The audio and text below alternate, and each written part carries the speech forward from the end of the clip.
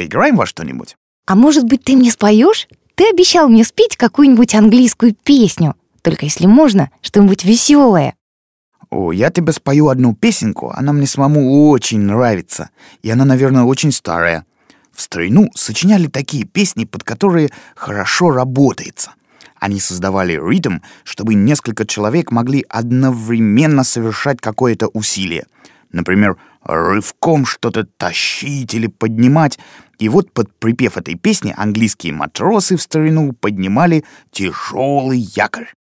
Ой, спой, пожалуйста.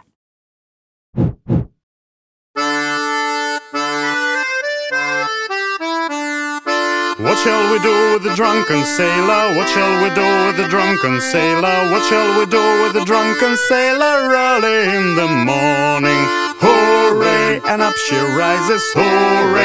And up she rises, hooray! And up she rises early in the morning.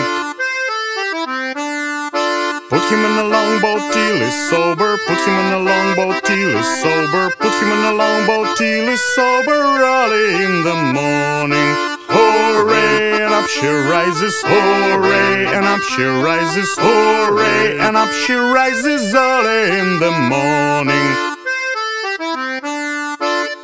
Pull out the plug and wet him all lower. Pull out the plug and wet him all lower. Pull out the plug and wet him all lower early in the morning.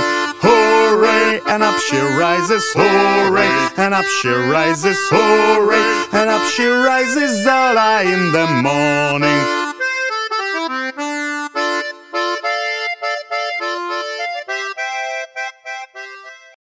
Спасибо, здорово. Правда, я одно только словечко понял. Morning. Все время повторяется. Early in the morning.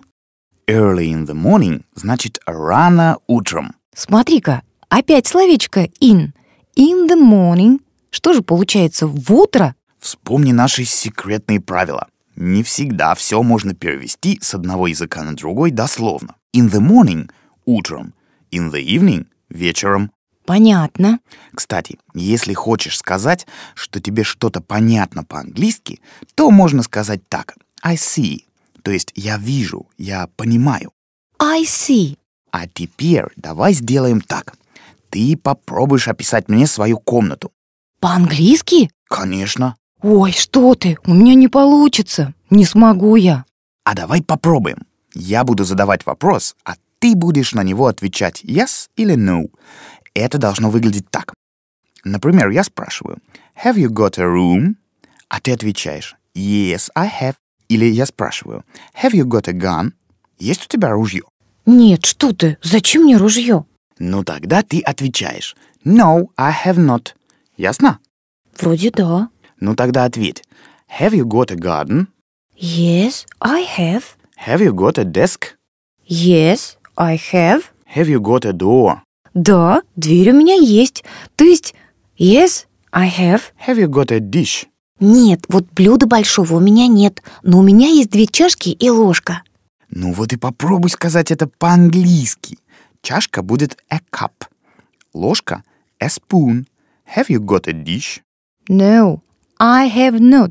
But I have got two cup and one spoon. Good for you. Только чашки две, и поэтому не cup, а Cups. так. Have you got a floor? Yes, I have.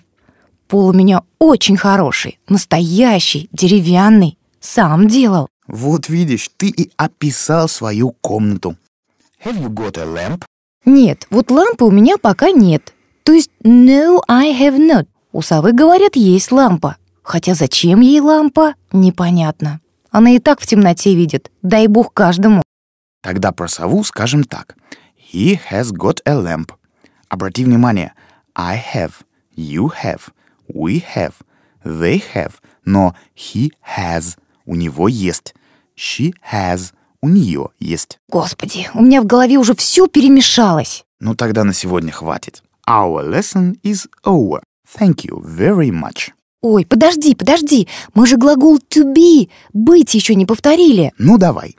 I, Am, you, are, he, is, she, is, it, is, we, are, you, are, they, А, Ну вот и все. See you. see you soon. Bye-bye.